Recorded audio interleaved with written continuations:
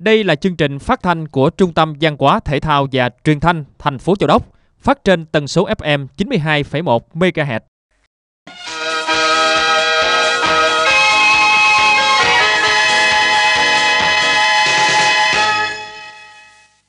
Xin kính chào quý vị và các bạn. Mời quý vị và các bạn theo dõi chương trình phát thanh của Trung tâm Văn hóa Thể thao và Truyền thanh thành phố Châu Đốc. Hôm nay thứ Sáu ngày 29 tháng 3 năm 2024. Trong chương trình thời sự hôm nay, sau phần tin có bài An Giang liên kết phát triển du lịch. Trước hết, kính mời quý vị và các bạn theo dõi phần tin. Ngày 28 tháng 3, Thường trực Thành ủy Châu Đốc tổ chức hội nghị Ban Thường vụ sơ kết tình hình thực hiện nhiệm vụ chính trị quý 1, phương hướng nhiệm vụ quý 2 năm 2024. Đồng chí Lê Hồng Quang, Ủy viên Ban chấp hành Trung ương Đảng, Bí thư tỉnh ủy An Giang đã đến dự.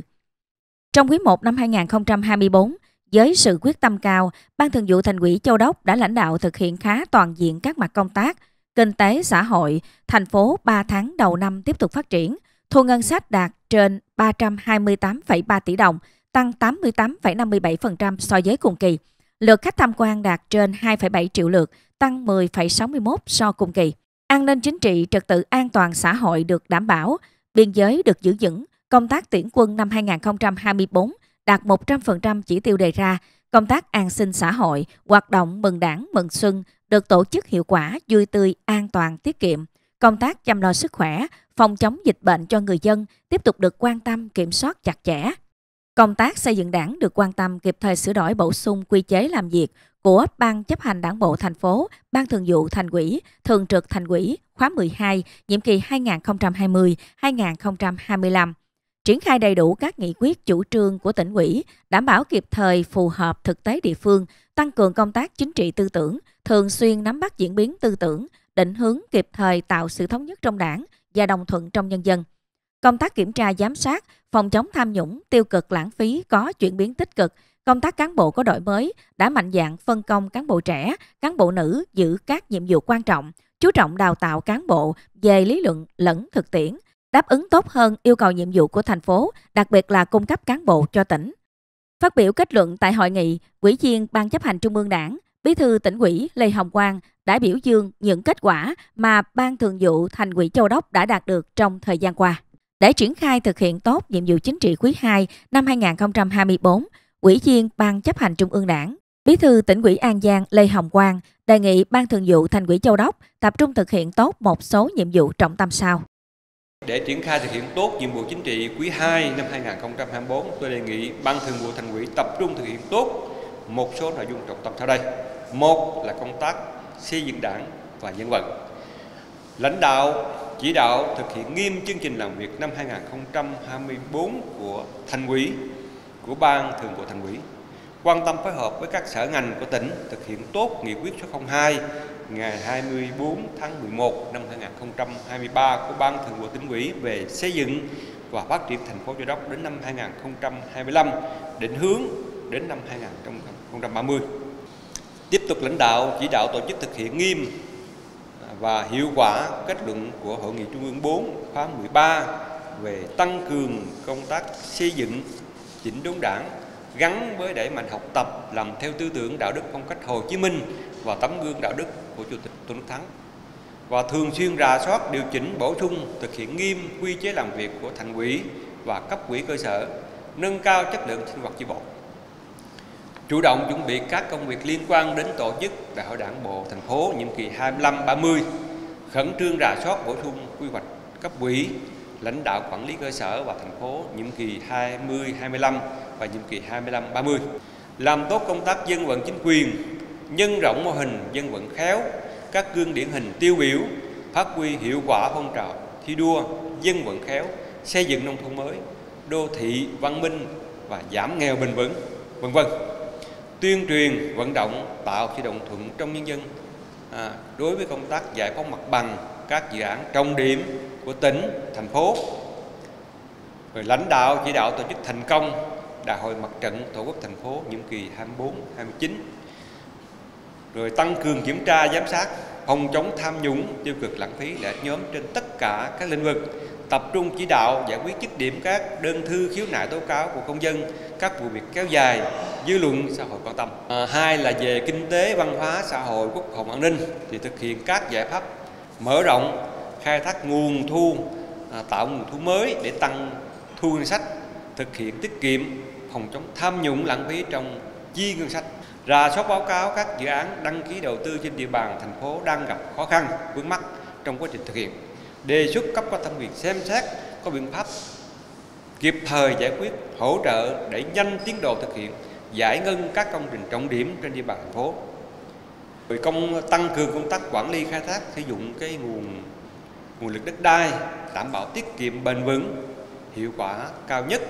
bảo vệ môi trường thích ứng với biến đổi khí hậu liên quan đến cái à, phối hợp để mà tổ chức các hoạt động văn hóa, quảng bá cái giá trị văn hóa đặc sắc của Châu Đốc và tỉnh An Giang. Năm nay là có một cái việc liên quan đến cái lễ hội của năm 2024 quý bà, kết hợp 10 năm, cộng thêm liên quan đến 195 ngày mất của danh thần Thoại Ngọc Hầu và kỷ niệm 200 năm hoàn thành kinh Vĩnh Tế là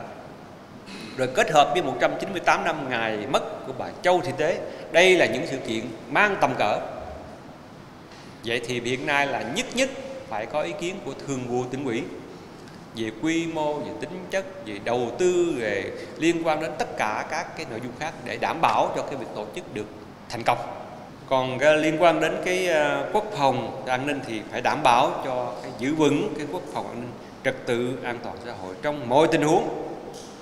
tăng cường đấu tranh phòng chống tội phạm và tệ nạn xã hội, đặc biệt là tội phạm ma túy, buôn bán người qua biên giới, tội buôn lậu, vân vân. Giữ mối quan hệ đoàn kết láng giềng, hữu nghị với vương quốc Campuchia và tinh thần là đoàn kết khéo léo, bài bản đúng quy định và vì sự phát triển của mối quan hệ tốt đẹp này. Ngày 28 tháng 3, Sở Nội vụ, Văn phòng Ủy ban Nhân dân tỉnh, tỉnh đoàn An Giang phối hợp tổ chức chương trình đối thoại giữa lãnh đạo Ủy ban Nhân dân tỉnh An Giang với thanh niên năm 2024. Chương trình được kết nối trực tuyến với 11 điểm cầu trong toàn tỉnh, với 100 đại biểu thanh niên, đại diện cho gần 200.000 thanh niên trong tỉnh tham dự. Phó Chủ tịch Ủy ban Nhân dân tỉnh An Giang Lê Giang Phước chủ trì tại điểm cầu của tỉnh. Tại hội nghị, lãnh đạo tỉnh đã nhận được nhiều câu hỏi của các cán bộ, viên chức trẻ và đoàn viên thanh niên về công tác đào tạo nghề, xuất khẩu lao động, chính sách khởi nghiệp lập nghiệp và đổi mới sáng tạo khởi nghiệp trên môi trường số, chính sách thu hút và giữ chân nguồn lao động chất lượng làm việc tại tỉnh, đồng thời chia sẻ, truyền tải thông điệp và gửi gắm kỳ vọng đối với thế hệ trẻ để đóng góp xứng đáng vào sự nghiệp xây dựng quê hương đất nước. Phó Chủ tịch Ủy ban Nhân dân tỉnh An Giang Lê Giang Phước nhấn mạnh, để công tác thanh niên phát huy hiệu quả và sát với thực tế, nhu cầu của thanh niên, Phó Chủ tịch Ủy ban Nhân dân tỉnh đề nghị các cấp quỹ đảng, chính quyền địa phương tiếp tục quan tâm tạo điều kiện, cơ chế thuận lợi để tổ chức đoàn và thanh niên lao động, rèn luyện, xây dựng, củng cố tổ chức đoàn, xây dựng đội ngũ cán bộ đoàn, cán bộ trẻ nhiệt quyết, bản lĩnh, mẫu mực, có năng lực dẫn dắt, truyền cảm hứng, Đối với thanh niên, tiếp tục phát huy hơn nữa tinh thần năm tiên phong, không ngừng học tập, rèn luyện, nâng cao kiến thức bản lĩnh, ý chí trong cuộc sống và công việc. Lao động sản xuất kinh doanh, đổi mới sáng tạo trong thời đại cách mạng công nghiệp lần thứ tư, tiên phong trong sự nghiệp xây dựng, bảo vệ tổ quốc và hội nhập quốc tế, phòng chống tiêu cực tham nhũng, đấu tranh chống các thế lực thù địch. Ngày 28 tháng 3, Liên đoàn Lao động thành phố Châu Đốc Cụm trưởng cụm thi đua số 2 tổ chức ký kết giao ước thi đua năm 2024. Đến dự có đồng chí Phan Thị Diễm, Phó Chủ tịch Thường trực Liên đoàn Lao động tỉnh An Giang và các Chủ tịch, Phó Chủ tịch, cán bộ chuyên trách của Liên đoàn Lao động năm quyện thị Châu Đốc, Tân Châu, Chợ Mới, Châu Phú và Phú Tân thuộc cụm thi đua số 2. Tại hội nghị, Liên đoàn Lao động thành phố Châu Đốc, cụm trưởng cụm thi đua số 2 đã triển khai quy chế kế hoạch hoạt động của cụm thi đua. Các đại biểu đã trao đổi bằng giải pháp tổ chức hiệu quả các phong trào thi đua và hoạt động công đoàn của cụm năm 2024, ký kết giao ước thi đua năm 2024. Trong đó, các đơn vị trong cụm thi đua số 2 tập trung thực hiện 4 nội dung các chỉ tiêu thi đua và đăng ký thực hiện công trình cụm thi đua số 2, xây dựng kế hoạch thực hiện chăm lo cho cán bộ công đoàn chuyên trách có hoàn cảnh khó khăn, gấp vốn xoay dòng cho từng cán bộ trong cụm với phương châm cán bộ nào khó khăn ưu tiên nhận gấp vốn từ nguồn vận động xã hội hóa các thành viên trong cụm thi đua số 2 năm 2024. Dịp này, các thành viên trong cụm thi đua số 2 đã ký kết giao ước thi đua năm 2024. Ngày 28 tháng 3, Hội khuyến học thành phố Châu Đốc tổ chức trao học bổng sổ số kiến thiết An Giang đợt 2 năm học 2023-2024 cho các em học sinh có hoàn cảnh khó khăn hiếu học, học sinh khiếm khuyết tay chân. Đến dự có ông Võ Trung Dũng, Giám đốc công ty trách nhiệm hữu hạn một thành viên sổ số kiến thiết An Giang, ông Dương Quốc Thanh, Phó trưởng ban dân vận thành ủy Châu Đốc. Trong đợt 2 này, Hội khuyến học thành phố đã trao 70 suất học bổng, trong đó trao cho 27 em học sinh bậc trung học phổ thông mỗi suất trị giá 1,5 triệu đồng, 35 học sinh trung học cơ sở mỗi suất trị giá 1,2 triệu đồng, 3 suất học bổng bảo trợ trị giá 3 triệu đồng. 3 suất học bổng khuyến tài trị giá 2 triệu 250 ngàn đồng cho các em cấp trung học phổ thông, riêng 8 em học sinh khiếm khuyết tay chân, tùy vào học lực và tình trạng khiếm khuyết của các em mà có mức học bổng tương ứng. Tổng kinh phí cho đợt cấp phát học bổng lần này là 119 triệu 450 ngàn đồng do công ty trách nhiệm hữu hạn một thành viên sổ số kiến thiết An Giang tài trợ.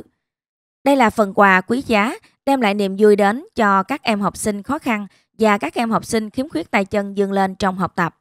Phát biểu tại buổi trao học bổng, ông Võ Trung Dũng, Giám đốc công ty trách nhiệm hữu hạn một thành viên sổ số kiến thiết An Giang, chúc mừng các em học sinh được nhận học bổng lần này, đồng thời mong muốn các em cố gắng nỗ lực, học thật giỏi để tiếp tục nhận học bổng của nhà tài trợ trong những năm học tiếp theo.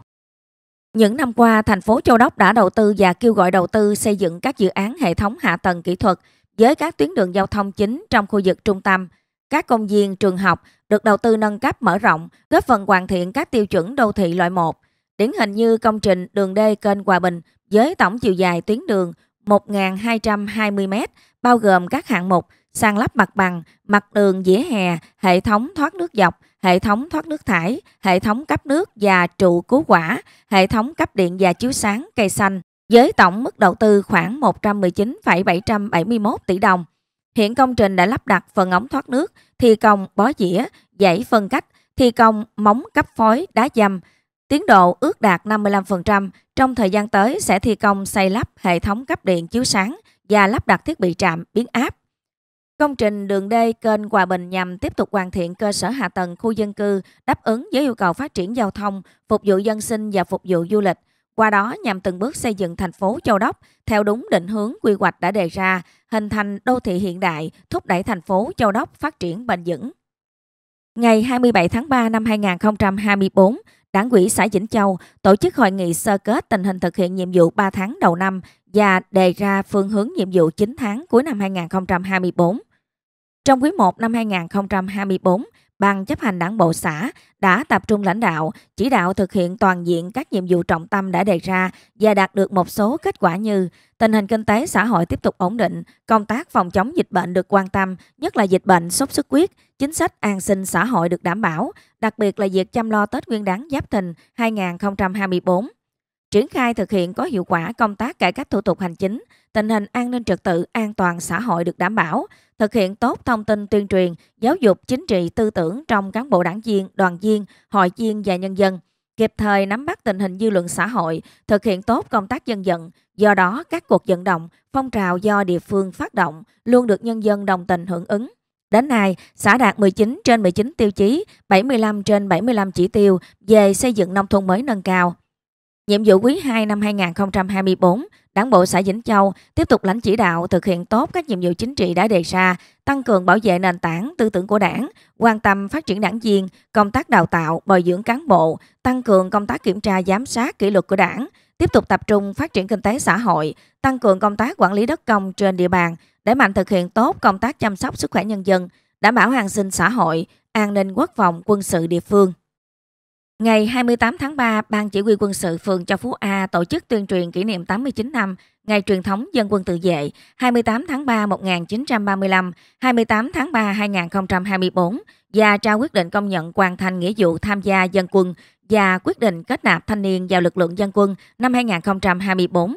Tại hội nghị, các đại biểu đã cùng nhau ôn lại kỷ niệm 89 năm ngày truyền thống lực lượng dân quân tự vệ 28 tháng 3 1935, 28 tháng 3 2024. Thời gian qua, lực lượng dân quân phường Châu Phú A đã thực hiện tốt các nhiệm vụ được giao như tổ chức huấn luyện cho dân quân, tham gia các hội thi hội thao đạt kết quả. Năm 2024, phường Châu Phú A hoàn thành 100% chỉ tiêu tuyển chọn và gọi công dân nhập ngũ. Cũng trong dịp này, Ban Chỉ huy quân sự phường Châu Phú A đã trao quyết định của Chủ tịch Ủy ban Nhân dân phường đối với lực lượng dân quân hoàn thành nghĩa vụ tham gia dân quân cho 17 đồng chí và quyết định cho 31 công dân thực hiện nghĩa vụ tham gia dân quân năm 2024. Ngày 28 tháng 3, Ủy ban Nhân dân phường Vĩnh Mỹ tổ chức lễ tuyên truyền kỷ niệm 89 năm Ngày truyền thống dân quân tự vệ 28 tháng 3 1935, 28 tháng 3 2024 kết hợp tổ chức cho ra thu vào dân quân năm 2024. Tại buổi họp mặt, các đại biểu đã cùng nhau ôn lại truyền thống dễ dàng của lực lượng dân quân tự vệ qua các thời kỳ, qua đó góp phần cổ vũ động viên cán bộ chiến sĩ dân quân và các tầng lớp nhân dân tích cực tham gia xây dựng lực lượng vũ trang địa phương vững mạnh toàn diện, góp phần xây dựng tiềm lực quân sự, quốc phòng đáp ứng yêu cầu nhiệm vụ bảo vệ tổ quốc trong tình hình mới. Dịp này, Ủy ban Nhân dân phường Vĩnh Mỹ đã trao quyết định cho 10 công dân hoàn thành nghĩa vụ tham gia dân quân, công nhận 32 công dân thực hiện nghĩa vụ tham gia dân quân năm 2024 và thành lập tổ dân quân binh chủng y tế. Ngày 28 tháng 3 năm 2024, Hội Liên hiệp Phụ nữ phường Châu Phú B tổ chức hội nghị sơ kết giữa nhiệm kỳ thực hiện nghị quyết Đại hội đại biểu Phụ nữ phường Châu Phú B lần thứ 14, nhiệm kỳ 2021-2026. Bà Quỳnh Thị Thu Trang, Chủ tịch Hội Liên hiệp Phụ nữ thành phố Châu Đốc đã đến dự.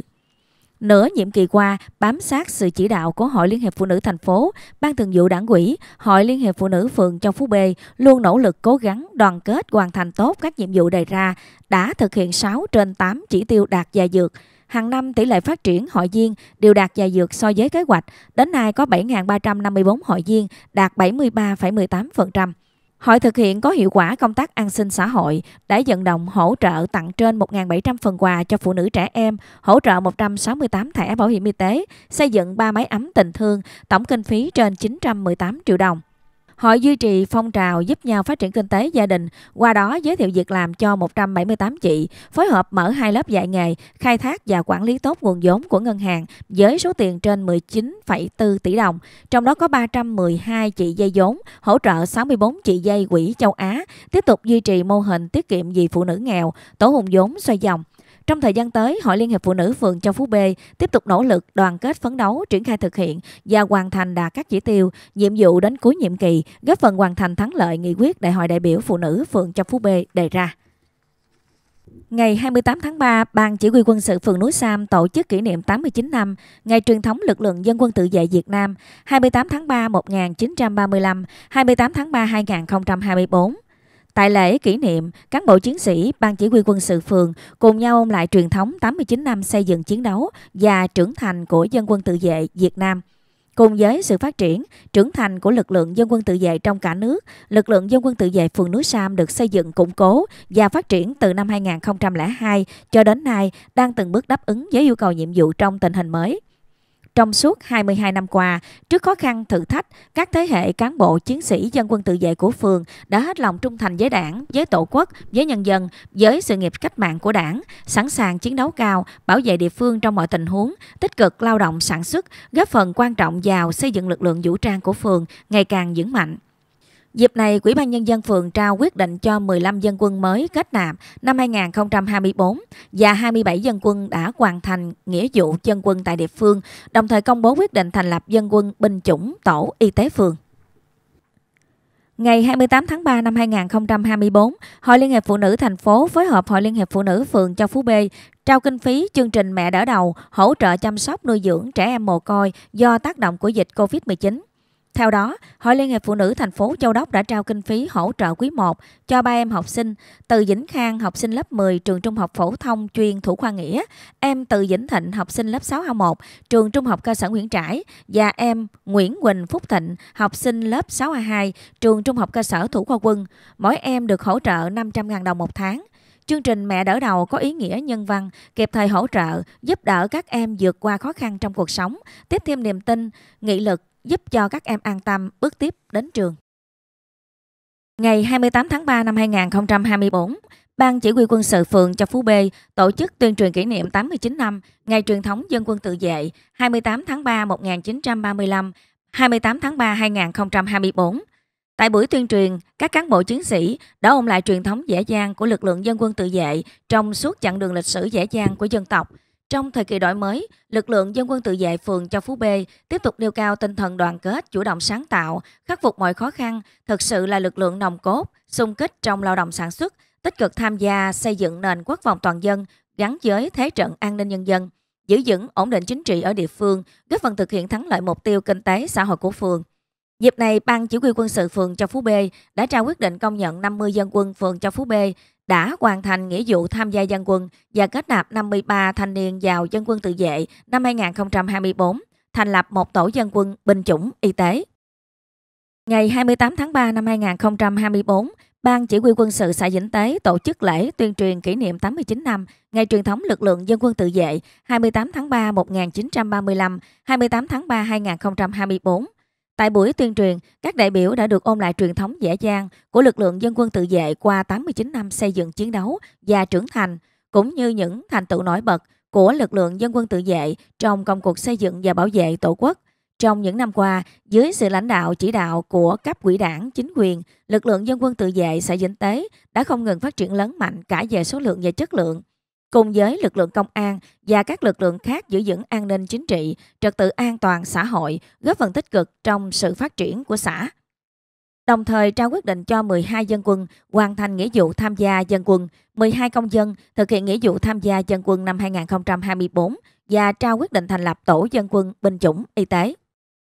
Ngày 28 tháng 3 năm 2024, Ban Chỉ huy quân sự phường Vĩnh Quân tổ chức họp mặt tuyên truyền kỷ niệm 89 năm Ngày truyền thống lực lượng dân quân tự vệ 28 tháng 3 1935, 28 tháng 3 2024 và kết nạp lực lượng dân quân tự vệ mới năm 2024.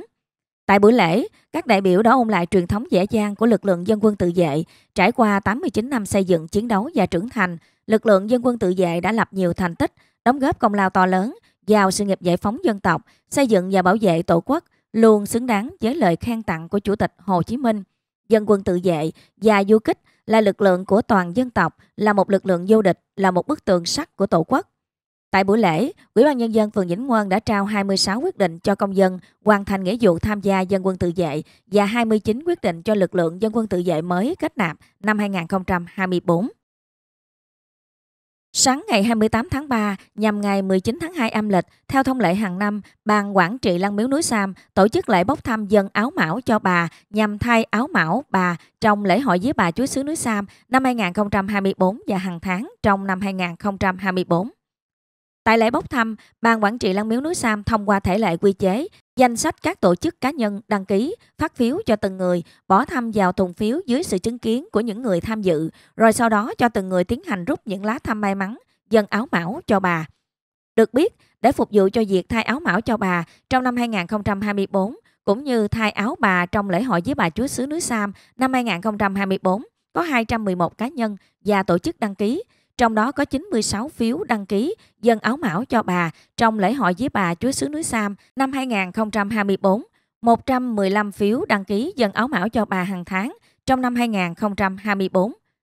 Sau một buổi tổ chức bốc thăm, có 4 du khách đã may mắn trúng thăm dân áo và một du khách trúng thăm dân mão cho bà nhằm phục vụ cho lễ hội với bà Chúa xứ Núi Sam năm 2024 diễn ra từ ngày 23 đến ngày 27 tháng 4 âm lịch. 23 du khách trúng thăm dân áo và 23 du khách trúng thăm dân mão cho bà phục vụ cho việc thay áo bà và các ngày 13-28 âm lịch trong năm 2024. Ngày 27 tháng 3 năm 2024, Phường đoàn Châu Phú B đến thăm hỏi, động viên và trao tặng quà gồm nhu yếu phẩm và tiền mặt cho thanh niên Nguyễn Phương Ngoan, ngụ khóm Châu Thới, phường Châu Phú B là thanh niên yếu thế có hoàn cảnh khó khăn. Hoạt động nhằm thể hiện tinh thần sung kích tình nguyện của tuổi trẻ vì cuộc sống cộng đồng, giúp chia sẻ một phần khó khăn đối với những thanh niên không được may mắn, động viên họ phấn đấu vượt qua khó khăn, ổn định cuộc sống. Ngày 28 tháng 3 năm 2024, Ủy ban Mặt trận Tổ quốc Việt Nam phường Vĩnh Quân tổ chức hội nghị lấy ý kiến đóng góp văn kiện Đại hội Mặt trận Tổ quốc Việt Nam phường lần thứ 10, nhiệm kỳ 2024-2029.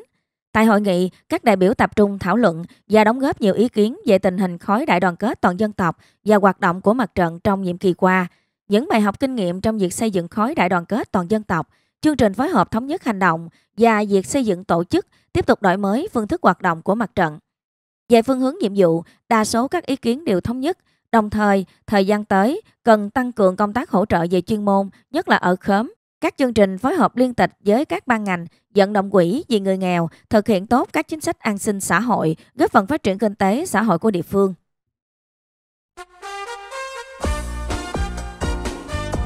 Quý vị và các bạn đang nghe chương trình thời sự của Trung tâm Văn hóa Thể thao và Truyền thanh thành phố Châu Đốc, phát trên tần số FM 92,1 MHz.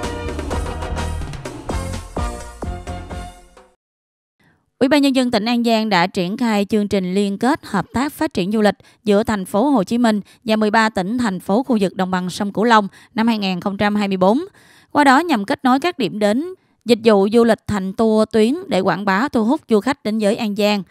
Thời gian qua, Sở Văn hóa và Thể thao Du lịch các tỉnh thành phố khu vực đồng bằng sông Cửu Long, thành phố Hồ Chí Minh đã duy trì các hoạt động liên kết hợp tác với An Giang, thường xuyên trao đổi thông tin, xu hướng thị trường, sản phẩm du lịch để cùng chia sẻ và phát triển. Ngành du lịch các địa phương tích cực tham gia các hội chợ, triển lãm, lễ hội du lịch, qua đó góp phần đưa hình ảnh giá trị văn hóa tài nguyên du lịch các địa phương đến với các hãng lữ hành, các công ty du lịch, du khách trong và ngoài nước, đồng thời tạo cơ hội để các doanh nghiệp du lịch giao lưu, trao đổi kinh nghiệm và tìm kiếm cơ hội hợp tác kinh doanh. Đặc biệt, các chương trình hợp tác của các địa phương tổ chức đều có sự tham gia hưởng ứng của đông đảo doanh nghiệp du lịch trên địa bàn, tạo hiệu quả trong công tác xúc tiến, giới thiệu điểm đến địa phương, cải thiện năng lực đón khách, quảng bá thương hiệu và sản phẩm của doanh nghiệp lữ hành, khách sạn, vận chuyển, điểm đến, nhà hàng. Riêng ngành du lịch An Giang đã đẩy mạnh công tác xúc tiến quảng bá hình ảnh An Giang đến các tỉnh thành phố có chương trình liên kết hợp tác, đồng thời xây dựng và triển khai nhiều hoạt động như xây dựng mới các sản phẩm dịch vụ tổ chức và tham gia nhiều chương trình xúc tiến du lịch, tăng cường truyền thông, đẩy mạnh liên kết dùng với thành phố Hồ Chí Minh và các tỉnh thành phố trong khu vực đồng bằng sông Cửu Long. Theo Hiệp hội Du lịch Đồng bằng sông Cửu Long năm 2023, Đồng bằng sông Cửu Long đón trên 42,5 triệu lượt khách, tổng doanh thu ước đạt trên 35.000 tỷ đồng. 13 tỉnh thành phố khu vực đồng bằng sông Cửu Long đẩy mạnh các hoạt động kết nối hợp tác với thành phố Hồ Chí Minh, các doanh nghiệp du lịch An Giang liên tục tham gia các sự kiện xúc tiến du lịch thường niên tại thành phố Hồ Chí Minh như Ngày hội du lịch thành phố Hồ Chí Minh, Hội chợ du lịch quốc tế thành phố Hồ Chí Minh.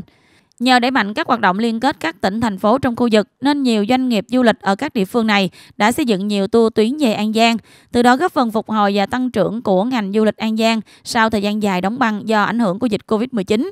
Cụ thể, năm 2022, du lịch An Giang đón khoảng 7,5 triệu lượt khách, năm 2023 là 8,3 triệu lượt khách.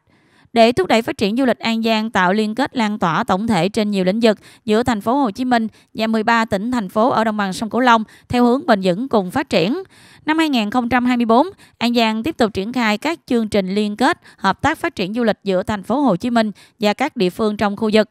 Đồng thời phát huy vai trò then chốt của các doanh nghiệp lữ hành và các doanh nghiệp kinh doanh dịch vụ du lịch, hiệp hội du lịch trong việc xây dựng các sản phẩm, chương trình du lịch liên kết thực sự hấp dẫn độc đáo, khác biệt của mỗi địa phương và của cả vùng thúc đẩy hoạt động xúc tiến đầu tư vào du lịch, tạo cơ hội hợp tác liên kết phát triển của các doanh nghiệp. Các hoạt động hợp tác trên tinh thần hỗ trợ giúp đỡ lẫn nhau, bình đẳng và cùng phát triển, đảm bảo hiệu quả thiết thực cho cộng đồng. Trong đó, doanh nghiệp du lịch đóng vai trò quyết định trong việc triển khai hợp tác. Công tác triển khai các nội dung theo chương trình hợp tác liên kết phải đảm bảo các yêu cầu về thích ứng an toàn linh hoạt, tạo điều kiện tối đa để doanh nghiệp du lịch phát triển và mở rộng thị trường. Ông Lê Văn Phước cho biết. Các hoạt động liên kết hợp tác giữa tỉnh An Giang với thành phố Hồ Chí Minh và các tỉnh thành phố khu vực đồng bằng sông Cửu Long về phát triển du lịch trong thời gian tới, bao gồm phối hợp tham gia diễn đàn liên kết hợp tác phát triển du lịch thành phố Hồ Chí Minh và 13 tỉnh thành phố đồng bằng sông Cửu Long lần thứ ba năm 2024 phối hợp tham gia hội nghị tổng kết năm 2024 và triển khai kế hoạch thực hiện chương trình liên kết hợp tác phát triển du lịch thành phố Hồ Chí Minh và 13 tỉnh thành phố đồng bằng sông Cửu Long năm 2025 phối hợp xây dựng đề án phát triển sản phẩm du lịch liên kết, chương trình bình chọn điểm đến du lịch hấp dẫn, tổ chức không gian kết nối các khu điểm du lịch, cơ sở cung ứng dịch vụ du lịch thành phố Hồ Chí Minh và 13 tỉnh thành phố đồng bằng sông Cửu Long. Bên cạnh đó, An Giang còn phối hợp thực hiện hỗ trợ các tỉnh, thành phố đồng bằng sông Cửu Long tham gia các hoạt động xúc tiến quảng bá du lịch tại các thị trường nước ngoài trọng điểm theo kế hoạch xúc tiến du lịch nước ngoài của thành phố Hồ Chí Minh và kế hoạch xúc tiến du lịch của Cục Du lịch Quốc gia Việt Nam. Tiếp tục hợp tác phát triển nguồn nhân lực du lịch, tham gia các nội dung đào tạo, bồi dưỡng nghiệp vụ, nâng cao kỹ năng phát triển du lịch, quản lý điểm đến, phục vụ du khách, quảng bá xúc tiến du lịch tham gia triển khai và công bố trao giải cuộc thi khởi nghiệp đổi mới sáng tạo du lịch thành phố Hồ Chí Minh và 13 tỉnh thành phố khu vực đồng bằng sông Cửu Long tại tỉnh Kiên Giang. Thông qua chương trình hợp tác liên kết nhằm phát huy vai trò liên kết giữa các địa phương trong kết nối giao thông thương mại, văn hóa du lịch, thúc đẩy phát triển du lịch của An Giang, từng bước xây dựng phát triển thương hiệu du lịch dùng, thúc đẩy du lịch An Giang, thành phố Hồ Chí Minh và các tỉnh thành phố ở đồng bằng sông Cửu Long phát triển bền vững. Bằng nhiều nỗ lực, Ủy ban nhân dân tỉnh An Giang đã ký ban hành bản xác nhận thu hồi khoáng sản đối với 10 khu mỏ khai thác cát sông phục vụ thi công các công trình đường cao tốc Châu Đốc Cần Thơ Sóc Trăng, cao tốc Cần Thơ Cà Mau, gồm hai phân đoạn cao tốc Cần Thơ Hậu Giang và Hậu Giang Cà Mau, theo cơ chế đặc thù của Quốc hội và Chính phủ. Tuy nhiên để đảm bảo việc giao mỏ khai thác được chặt chẽ, các không đi lạc địa chỉ, các nhà thầu cần tuân thủ đúng theo hướng dẫn quy định. Tại buổi làm việc với các chủ đầu tư, nhà thầu thi công tuyến cao tốc Châu Đốc Cần Thơ Sóc Trăng, cao tốc Cần Thơ Hậu Giang và Hậu Giang Cà Mau để hướng dẫn thực hiện các thủ tục trước khi tiến hành hoạt động khai thác khoáng sản tại các khu mỏ, phục vụ nguồn cát cho các công trình cao tốc theo cơ chế đặc thù. Giám đốc Sở Tài nguyên và Môi trường An Giang Thái Minh Hiển yêu cầu các chủ đầu tư, nhà thầu, đại diện nhận mỏ cát phải ký vào biên bản làm việc thống nhất với quy trình hướng dẫn. Ông Thái Minh Hiển nhấn mạnh, Mong muốn lớn nhất là phát huy vai trò các chủ đầu tư trong giám sát nguồn cát đưa về công trình, phân bổ hợp lý. Nhà thầu phối hợp đồng bộ với doanh nghiệp khai thác cát, đảm bảo chặt chẽ, đưa cát về đúng địa chỉ, đủ số lượng để đẩy nhanh triển khai các tuyến cao tốc. Theo hướng dẫn của Sở Tài nguyên và Môi trường An Giang đối với chủ đầu tư, trước khi tiến hành khai thác, phải phân bổ nguồn cát giữa đơn vị được cấp giấy xác nhận thu hồi khoáng sản. Nhà thầu làm đại diện khai thác khoáng sản với các nhà thầu thi công hướng dẫn các đơn vị khai thác khoáng sản và các nhà thầu thi công ký hợp đồng cung cấp tiếp nhận cát đúng khu mỏ và địa chỉ công trình san lấp theo trữ lượng cát đã được phân bổ gửi kết quả phân bổ nguồn cát theo danh mục gói thầu và nhà thầu thi công, kèm danh mục phương tiện vận chuyển về các cơ quan của tỉnh An Giang, bao gồm Sở Tài nguyên và Môi trường, Công an tỉnh, Sở Giao thông Vận tải, Sở Xây dựng, Cục Thuế tỉnh, theo quy chế phối hợp, trước khi tổ chức khai thác để theo dõi. Trong quá trình khai thác, chủ đầu tư tổng hợp báo cáo hàng tuần, hàng tháng về Sở Tài nguyên và Môi trường An Giang về tình hình thông tin tiếp nhận nguồn cát từ các nhà thầu thi công. Đồng thời theo dõi đôn đốc các đơn vị được xác nhận thu hồi khoáng sản và nhà thầu thi công, công trình theo quy chế phối hợp công tác quản lý nhà nước về khoáng sản giữa tỉnh An Giang, tỉnh Hậu Giang, thành phố Cần Thơ và ban quản lý dự án Mỹ Thuận trong khai thác cung cấp vận chuyển vật liệu xây dựng cho các cao tốc Châu Đốc Cần Thơ Sóc Trăng, cao tốc Cần Thơ Hậu Giang và Hậu Giang Cà Mau. Đối với đơn vị được cấp xác nhận thu hồi khoáng sản trước khi tiến hành khai thác, phải bổ nhiệm ngay giám đốc điều hành mỏ theo đúng tiêu chuẩn quy định tại khoản 2 điều 8. Nghị định 158 của Chính phủ để điều hành hoạt động khai thác theo giấy phép khai thác, quyết định điều chỉnh và gửi văn bản thông báo về Sở Tài nguyên Môi trường An Giang. Nhà thầu thực hiện các nghĩa vụ tài chính khác theo quy định thông báo kế hoạch thực hiện các thủ tục trong giai đoạn xây dựng cơ bản mỏ, ngày bắt đầu khai thác với Sở Tài nguyên và Môi trường, Ủy ban nhân dân tỉnh An Giang, Ủy ban nhân dân cấp huyện và cấp xã nơi có mỏ trước khi thực hiện. Nhà thầu ký hợp đồng cung cấp tiếp nhận cát với các nhà thầu thi công khác theo địa chỉ công trình và khối lượng cát đã được chủ đầu tư phân bổ, thực hiện thả phao giới hạn khu vực khai thác theo quy định. Sau khi hoàn thành việc thả phao, đơn vị được cấp xác nhận thu hồi khoáng sản, thông báo bằng văn bản và mời cơ quan quản lý đường thủy nội địa, Sở Tài nguyên và Môi trường An Giang, Ủy ban nhân dân huyện xã nơi có khoáng sản được khai thác để có xác nhận hoàn thành việc thả phao theo phương án an toàn giao thông thủy được chấp thuận. Nhà thầu thực hiện lắp đặt bản thông báo tại bờ sông thuộc phạm vi khai thác để công khai thông tin, bản xác nhận thu hồi khoáng sản với các nội dung, tọa độ, diện tích và sơ đồ phạm vi khai thác, thời gian khai thác, tên, loại, số lượng, công suất phương tiện khai thác cát, công trình cung cấp cát, đồng thời đăng ký phương tiện khai thác với Sở Tài nguyên và Môi trường An Giang, thực hiện lắp đặt thiết bị định vị và giám sát hành trình đối với các phương tiện khai thác. Thiết bị giám sát phải kết nối với hệ thống giám sát tài nguyên khoáng sản của tỉnh để quản lý. Đối với các nhà thầu thi công cao tốc, Sở Tài nguyên và Môi trường An Giang yêu cầu thực hiện ký hợp đồng cung cấp, tiếp nhận cát với các đơn vị được cấp xác nhận thu hồi khoáng sản theo địa chỉ công trình và khối lượng cát đã được chủ đầu tư phân bổ.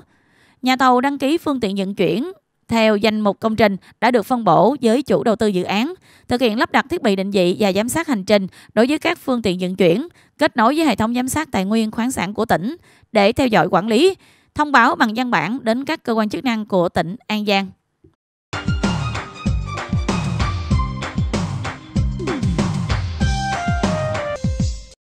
Nhìn lại chặng đường thực hiện một nhiệm kỳ nghị quyết Đại hội đại biểu Hội Liên hiệp Thanh niên Việt Nam phường Vĩnh Ngân đã linh hoạt chủ động trong triển khai các công trình phần việc, đã tạo dấu ấn màu sắc riêng của hội, đoàn kết tập hợp rộng rãi các tầng lớp thanh niên, phấn đấu xây dựng phường biên giới Vĩnh Nguồn ngày càng phát triển giàu đẹp văn minh.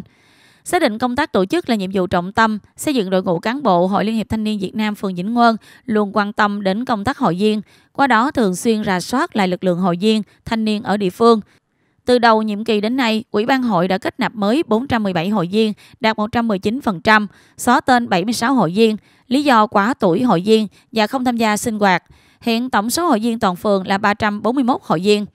Trong nhiệm kỳ 2019-2024, Hội Liên hiệp Thanh niên Việt Nam phường đã khẩn trương triển khai đưa nghị quyết vào cuộc sống, đồng thời thường xuyên kiểm tra giám sát việc thực hiện các nội dung trong nghị quyết, chương trình công tác năm, kế hoạch thực hiện các chiến dịch của hội như tình nguyện mùa đông, xuân tình nguyện, thực hiện phong trào tôi yêu tổ quốc tôi với nhiều công trình phần việc nổi bật đã để lại dấu ấn thanh niên, Cụ thể như là việc tổ chức 359 cuộc tuyên truyền giáo dục pháp luật, thu hút trên 12.995 lượt hội viên thanh niên, học sinh tham dự với nhiều hình thức. Hội nghị tổ chức hái hoa dân chủ, tổ chức 5 buổi tuyên truyền về phòng chống ma túy, đặc biệt là ma túy học đường, cho trên 200 lượt đoàn viên hội viên thanh niên học sinh tham gia.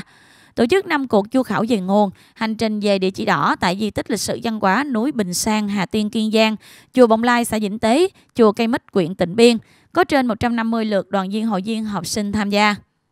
Thực hiện truyền thống tốt đẹp của dân tộc uống nước nhớ nguồn, đền ơn đáp nghĩa, các chi đoàn hội đội trên toàn phường tổ chức nhiều hoạt động thiết thực như kể chuyện truyền thống, tổ chức các hoạt động văn hóa, văn nghệ, thể dục thể thao, tổ chức thăm hỏi tặng quà các gia đình chính sách, người già neo đơn, trẻ em mồ côi khó khăn trên địa bàn phường. Qua đó trao tặng 2.349 phần quà, tổng số tiền trên 166 triệu đồng hỗ trợ 25 thẻ bảo hiểm y tế cho người dân học sinh có hoàn cảnh khó khăn, tổ chức 4 đợt khám phát thuốc, tặng quà cho trên 870 lượt gia đình chính sách, trẻ em, người già neo đơn, người dân có hoàn cảnh khó khăn trên địa bàn phường với tổng số tiền trên 205 triệu đồng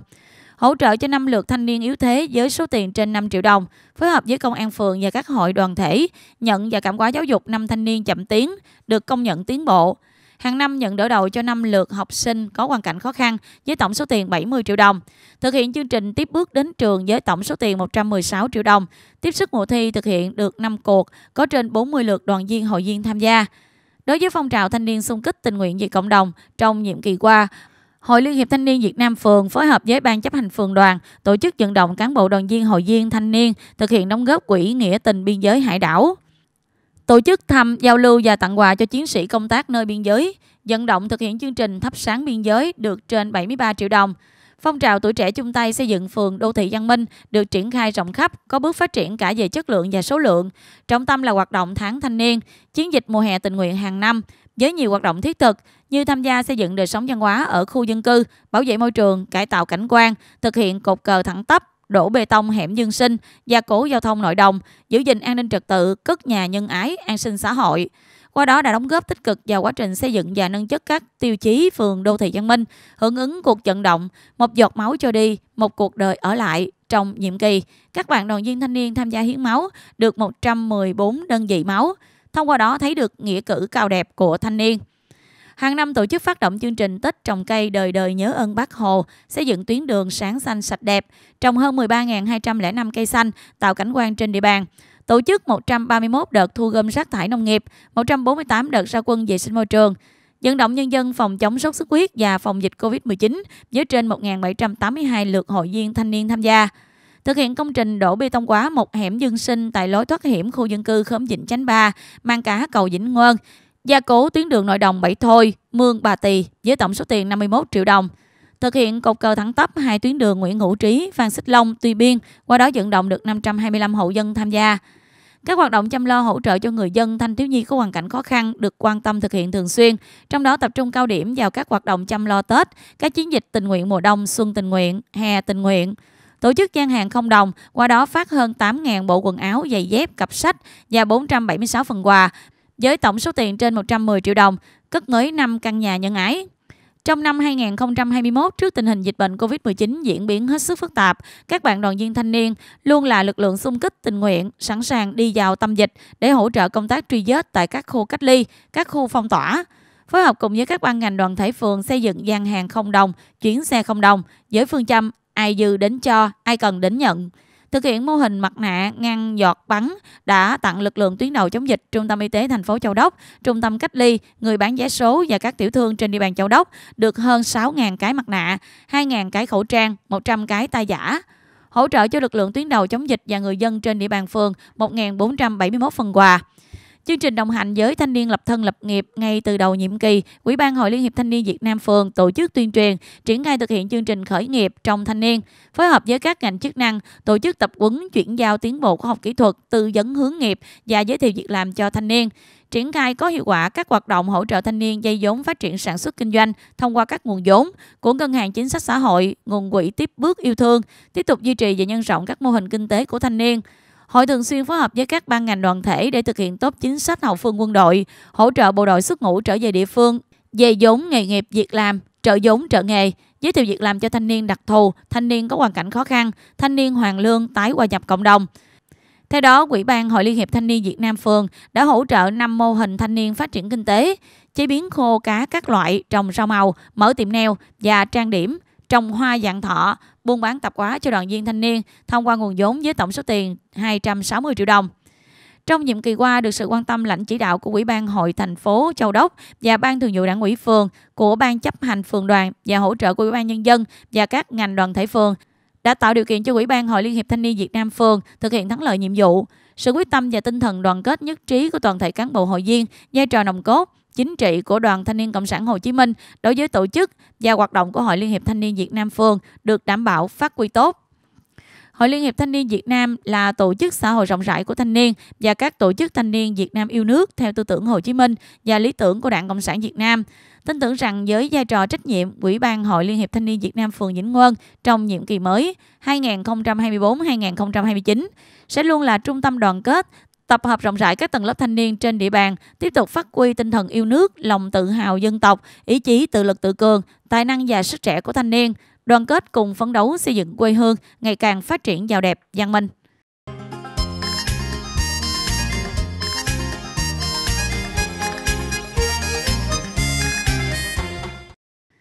Thưa quý vị và các bạn, chương trình thời sự hôm nay đến đây là hết. Cảm ơn quý vị và các bạn đã chú ý theo dõi. Xin kính chào tạm biệt.